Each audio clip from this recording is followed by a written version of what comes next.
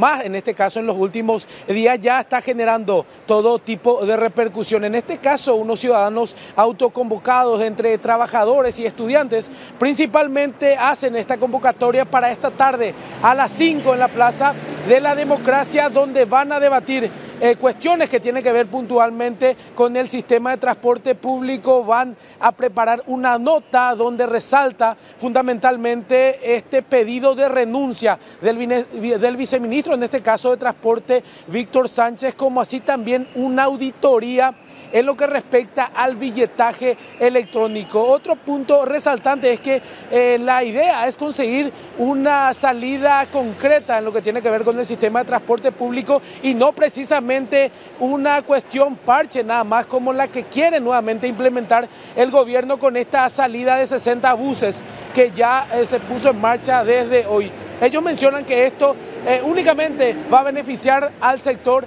empresarial y no en este caso a la ciudadanía, por lo que considera muy importante esta convocatoria que arranca a las 5 posteriormente. Van a redactar esta nota donde también la idea es que la ciudadanía pueda llevar algún tipo de alternativa para eh, agregar en este pedido y posteriormente, eh, lógicamente, presentar ante el Ministerio de Obras Públicas y Comunicaciones. Escuchemos lo que presentaba, lo que explicaba en este caso eh, Blas Flecha, él es uno de los que encabeza esta manifestación prevista para esta tarde.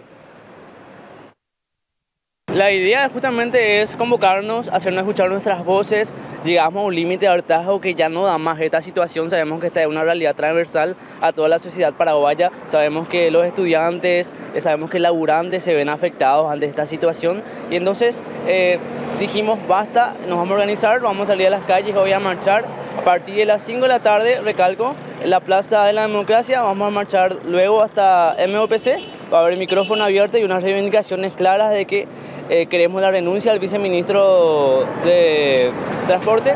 queremos una auditoría a través de lo que tenga que ver con el billetaje, queremos transparencia de todo lo que tenga que ver con el subsidio. Y queremos ser parte de esta, este, este cambio, este proceso de transformación del transporte público, porque están ofreciendo soluciones parches. Están ofreciendo soluciones que van a durar una semana o que son solamente placebo para que la ciudadanía se siente tranquilo y pase la crisis. Nosotros queremos efectivamente que se tomen con seriedad el asunto y queremos ser parte de esta transformación de que el transporte público sea digno, de calidad, frecuente y que la gente, si sale su trabajo a las 6, no tenga que tomar su colectivo a las 8 y media recién, sino que pueda llegar efectivamente a sus casas seguros y con dignidad, por sobre todo vamos a convocar una marcha porque es urgente hacernos escuchar en las calles y a través de ahí seguir construyendo. Evidentemente tienen que traer propuestas a la ciudadanía y eso es algo que queremos hacer porque si no nos dan soluciones parches, soluciones que realmente no son efectivas o son tan mentiras como sacar 60 colectivos en la calle que eso va a solucionar un problema de antaño que es el transporte público en Paraguay.